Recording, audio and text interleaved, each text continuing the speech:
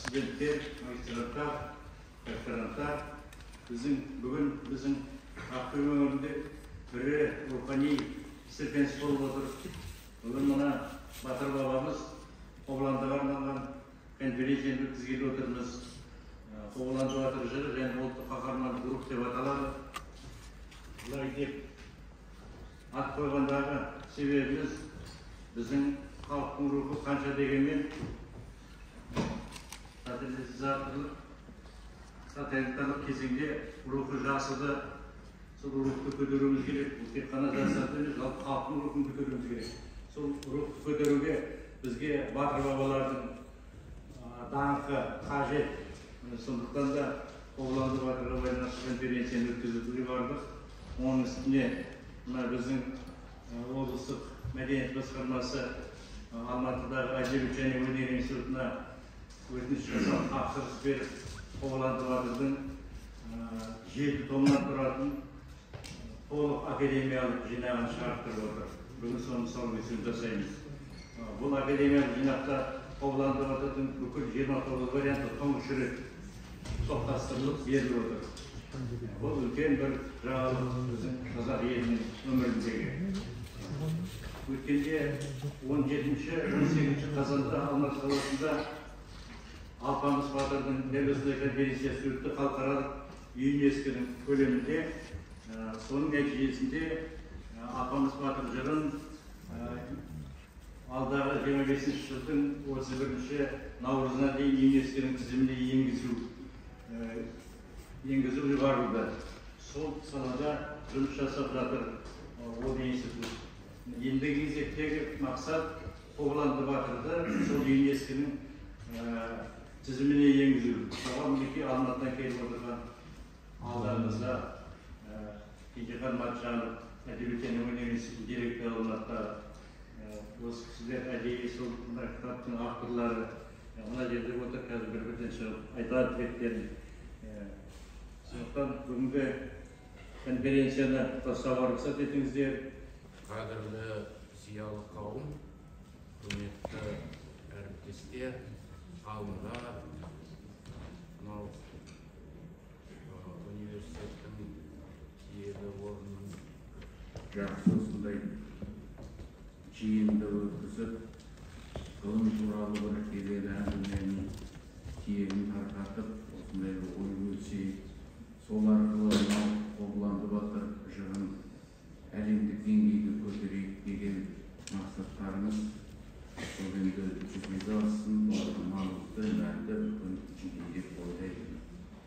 енді әңгіменің тарқатсақ өте көп тақырыбы да ауқымы да ертістік қатысты әлемдік зерттеудің қазіргі тәжірибесіне сүйенсек те айтатын әңгіме көп бірақ бүгінгі тақырыпты мен мынау қобыланды батыр жыры классикалық эпос мо- моделі деп алғанымның бір себебі бар. Алдыменен классикалық эпос моделі дегеніміз не нәрсе? Содан кейін қобыланды батыр жыры осыған қаншалықты сәйкес келеді деген сұрақтарға жауап беріп алсақ онда демек ары қарай біздің бір әрекет етуімізге мүмкіндік болады деген ойдамын. Тақырыбымды мен сондықтан осы айтып отырған мәселеме қарай жинақтап айтуға әрекет жасаймын. Эпостың даму кезеңдерін пайда болған дәуірін тарихи оқиғалармен байланысын зерттеудің ғылымдағы қалыптасқан дәстүрі эпос мазмұнымен байланысты. Онда баяндалған тарихи оқиғалар дәуір шындығы қаһармандардың жүріс тұрысының себептері және мотивациясы негізге алынады да осылардың мазмұнынан эпостың пайда болған кезеңі тарихи шындықпен ара қатысы жер су елді мекен атаулары таратыла бастайды қоғамдан бастап бертінге дейін басып келе жатқан қаһармандық ерлік дәстүріне ризашылық білдіруге сол дәстүрді сақтап келе жатқан сіздерге осы ақтөбе елінің азаматтарына ризашылық білдіруге рұқсат етіңіздер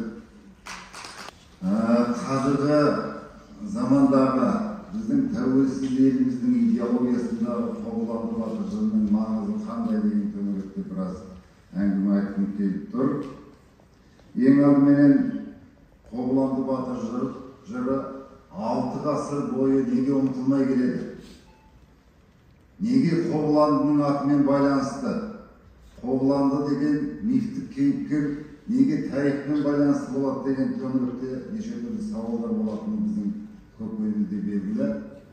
Осының барлығын айналып келгенде бір ақ сөзбен жауап беруге болады. Қобыланды өзінің тірі кезінде дағы кейіннен эпостық кейіпкерге айналған кезінде дағы халықтың арман мұратыменен бірлесіп кеткен сондықтан дағы кез келген қиын уақытта тарихтың кез келген қиыншылық жағдайларында қазақ халқы әрқашанда қобыландының рухына айналып соғып отырған сақталған вариантта мысалына сүйініп эпос өзгешелігін талдаудың бір жолы болып табылады сондай ақ қобыланды батырдың жалпы қазақ эпикалық дәстүрі ауқымындағы орны мен мәні көркемдік құрылыстық ерекшелікке де назар аударуды қажет еді етеді сондықтан мақалада арнайы аталып отырған жыр варианттарының жалпы бәріне тән ортақ ұқсастықтар мен әрқайсындағы азды көпті айырмашылықтар талданады батыр өзінің құрылысы көркемдік кестесі оқиғалық көлемі жағынан классикалық тақырыбын жыр қатарына жатады. Қаһармандық эпосқа тән бол- болашақ батырдың ғажайып жағдайда дүниеге келуі қаһарманның берік қасиетін ерте танытып жедел жетілуі батырдың үйренуі жауын жеңіп мұратқа жету секілді белгі сандар қобыланды батырда да толығымен кездеседі. Біз қарастырған мақала- мақаламызда қазақ қара- қарақалпақ башқұрт ноғай халықтарының ортақ қобыланды батыр жырының сюжеттері мен мотивтерін өзара салыстыра отырып типологиялық талдау жұмысы жүргізілді. Жыр туған жер ел намысы үшін күреске үндейді. Тәрбиелік мәні зор. Мұра тілі тегі тағдыры жақын халықтардың мәдениетіндегі бірлестік пен үндестікті неғұрлым жан жақты көрсету үшін жырдың көптеген нұсқалары он эпизодқа бөлініп талданды. Түркі халықтарының ортақ қобыланды эпосының байырғы желісі барынша сақталған бас қаһармандардың есімдері іс әрекеті қартайған шағына дейін баласыз болуы шығармадағы мотивтер тізбегі ұқсас болып келеді. Мысалы қыдырбайдың қартайған шағына дейін баласыз болуы ата анасының құдайдан бала тілеп бала кезуі тілектерінің қабыл болып қобылан ер жетіп көрші үйдегі қызы құрқаға башқұртта күрканға үйленуі құрқаның батырға тұлпарды күтіп өсіруі қобыланның жауды елін азат ету тағы басқа ә, мотивтер қобыланды батыр жырының қазақ және қарақалпақ нұсқалары бөлінді екені ұқсас шарттары мен әр елдің жырында екіншісіне қайталанбайтын тұстары оқиғаларда бар екені анықталды. Башқұрт пен ноғай нұсқалары көлемі жағынан шағындау болғанымен оның эпизодтағы оқиғалар екі халықтың жырында барынша қамтылған.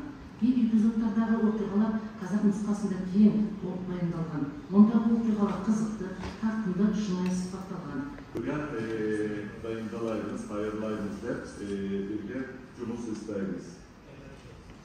Ben eee, bu bildirimde Kazak Türklerinin Kollandı Batır destanı ile Dede Korkut destanları olarak adlandırdığımız Korkut Akaz Aslanları ad koyulgan kahramanın doğumu, Batır'ın kuruluşu, kahramanın aşık olması ve evlenmesi konularını içeren epizod ve motifleri, yapı içerik özellikleri bakımından karşılaştırmalı olarak inceledim. İncelemeye geçmeden Kodlandı Batır Destanı hakkında Türkiye'de yapılan önemli bazı çalışmaları tanıttım. Yani Türkiye'de bugüne kadar Kodlandı Batır Kralı 3 zerker var. Bunlardan biri bir magistrantlık eee zerker, tez. İkincisi doktorantlık tez Bizding Enstitü'de Ege Üniversitesi'nde İzmir'de e, cesandı. Üçüncüsü de Ardahan Üniversitesi'nde Kollandı Batır Türkçe'ye aldırıldı. Kitap çıktı. Hazırda Türkiye'de de Kollandı Batır dastanını e, Türkçe okuyabilirler. Bırak e, hazır e, Gencehan Akran'ın 7 tomluk e, Cana Cinal'dan e, bu zevklerden keyif kayıtadan Türkçe'ye aldırıp gerek. E, inşallah onlar bizim klasta e, mümkün kılavuz e, Dede Korkut yazmaları hakkında bilgi verdikten sonra özellikle Dede Korkut destanlarından Dirsehanoğlu Boğaçan, Baybörüoğlu Bansı Bey'le ve Kanlı Kocaoğlu Kan Kuralı destanlarıyla karşılaştırmaya uygun destanlar olarak tespit edildi. Yap Aslında dastanda olan, olan batır dastanda bizim bireyimizde tahmin edilen dastanda mana e, Metin Ağa ülkemizde katlanan e, batırға has kısletler birincisi bir cavdı öldürü olsa onun kanını söylüyor olsa ikincisi şu şu yerden bir kız alып келді şu saltты kız alıp git kaçır saltını Alakay Batır деген сіздерде bir дастан бар Alakay Батыр Lakayların baş babası болады Lakayların atası болады сол şu Kızılbaşlardan soğusып оның Gavhar деген kızını alıp kaçıp келген мен ойлайман ки şu қазақтардағы алып қашу салтыны біздің атамыз бастап берген аман болыңыздар сонымен аға мен тоғыз минутта аяқтаймын лакайлар тоғызстанды жақсы көреді мына жалпы адамзаттық дамуда маңызды рөл атқаратын түркі халықтарының этномадани рухани даму кезеңдері тікелей материалдық және мәдени ескерткіштерді тарихи құндылықтарды рухани байлық үлгілерін қамтиды бүгінгі даму әлеуметтік мәдени бірлікті қажет ететіндіктен әсіресе тамыры жақын түркі халықтары арасында мәдени құндылықтар саласындағы ортақтықты атап көр- көрсете отырып жас ұрпақтың бойына және ойына достық қандастық қасиеттерді сіңіру жетекші факторлардан бірі болып табылады uyushtiruvchilarga aqto'be областына ulug' rahmatimni yetkazing zo'r rahmat sizga chaqirganlarga у меня статья на русском языке по правилу да конференции но я на, за пять минут могу рассказать на башкирском все что написал мүмкін да жақсы бұзайды все-таки уже реклама я смотрю там уважаемые на самом деле где-то какие-то могу пере- перевести на русском языке Құрметті туғандар урал батыр біздің башқұртыбызда урал батыр эпосы құбайырбыз яңғырап бүкіл түркі дүниясына таралған урал батыр турасында біздің белгілі зәки уәлидилла қалған біздің ә, путешественниктар саяхатшылар палас рычков өзінің ғылыми іштерінде айтады солардың арасында біздің қалған эпостардан тыш бик көп эпостарыбыз бар һәм уларның арасында гына Кыблан батыр. Казактарда Кыбланды батыр, бездә Кыблан батыр бар. Һәм бuna ысынап та без горурланабыз ошондай эпосыбыз булганыбызга. Аңлашыламы? Аңлашыла иде. Эпосыбыз булганга. Минең темам бuna мәкаләдә образ двух батыров. Урал батыр и Кыблан батыр. Ну и, конечно, я параллельно изучал Кыбланды батыр. И шуның үстендә вот что я хочу сказать. Что эпосе Урал Батыр, что эпосе Кыблан Батыр. Сюжет, она одинаковая. Это рождение нашего будущего Батыра Египта. Урал Батыр туды, һәм Кыблан Батыр туды. От кого они родились? Кемнен туғандар? Опять интересный, вот здесь тоже встречается от э, известных ученых, от пожилых. Кыблан Батырның ата-анасына несіне яш була? Больше 80, 80-нен ашу.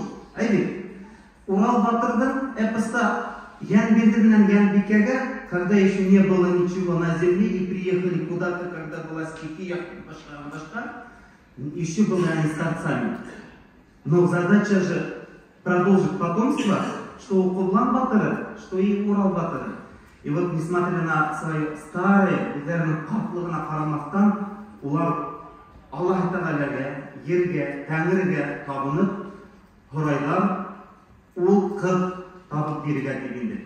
И бына рождение сына – это отдельная такая большая и философская, и с точки зрения она тема. И на самом деле такие эпосы, в эпосах встречается и Алпамыш, жазба нұсқалары жөніндегі ғылыми түсініктер араб парсы тіліндегі сөздерге сөздік жер су атауларына түсінік туралы мәлімет әдебиеттер тізімі орыс және ағылшын тіліндегі түйіндеме резюме осы ә, ә, жек томның тағы бір ерекшелігін айтуға болады. Бабалар сөзінде төрт том болып жарияланған болатын. Қалманды батырға жеті том арналды.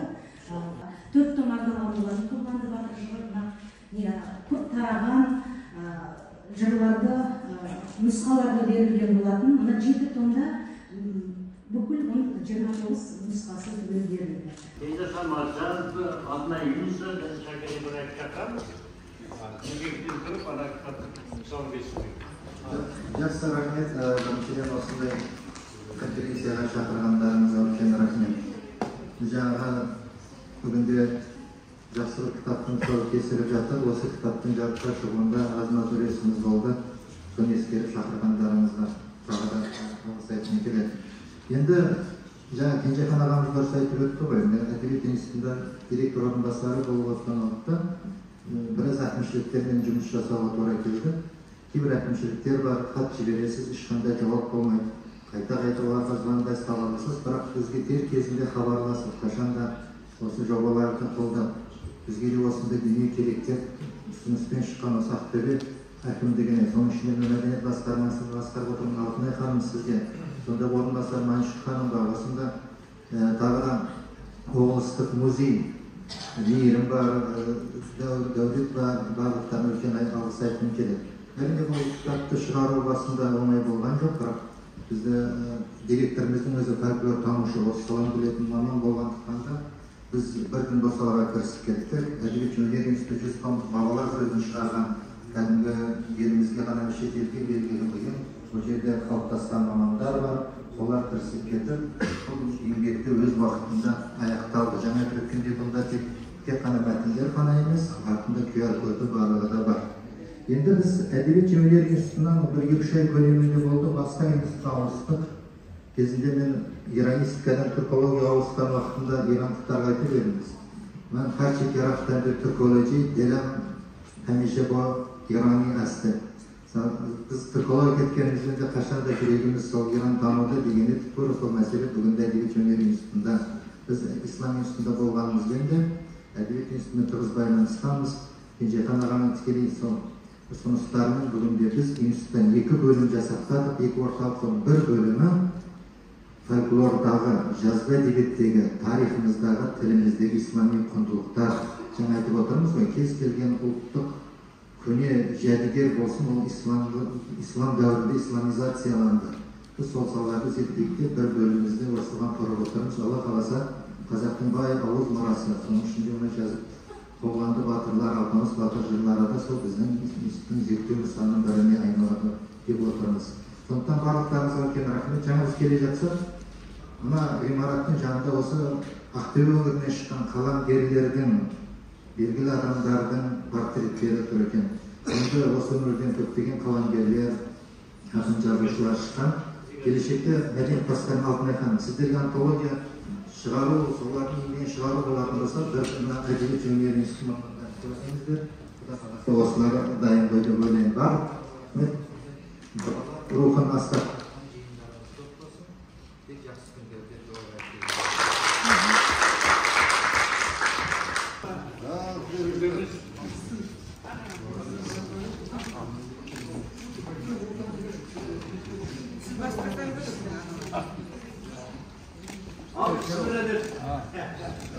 بسم الله